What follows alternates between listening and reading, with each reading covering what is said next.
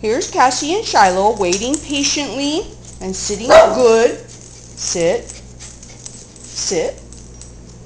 For their peanut butter Kongs. Show mommy and grandma how good you can do that. Okay. Here they come. Okay. You ready? Good girls. There they are. I'm getting their peanut butter Kongs. They love their peanut butter Kongs.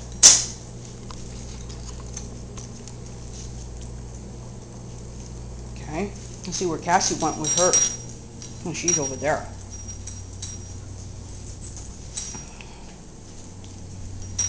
What good doggies. He says, I'm going to take it now. I'm going to take it over there. We just had our walk. We were at the park. We like to go down into the um, into the recessed area of the park. It gets cool there at night. Today it got up to 107. So I waited as long as I could before it got too late, but it was still after dark. After the sun went down, I should say. And then we went to the park, into the recessed area where it's cooler and they really enjoyed their walk. There's a little bird that lives in there and gets mad every time we come in there because I think it's sitting on a nest. I think it's one of those birds that sits on a nest on the ground.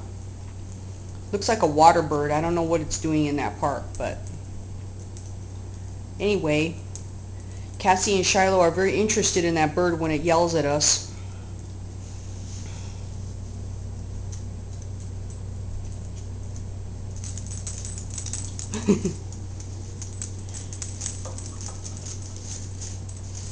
Yours is over there. They've been getting better and better every day with their commands. When they jump on me, I tell them off. Shyloh, Shyloh, yours is over here. Yours is over here. Yours is right there.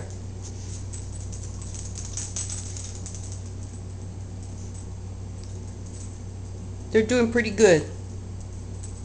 At first it was kind of tough, but they're getting better every day, like I said.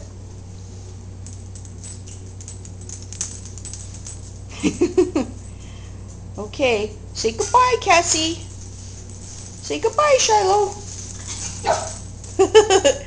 Signing off.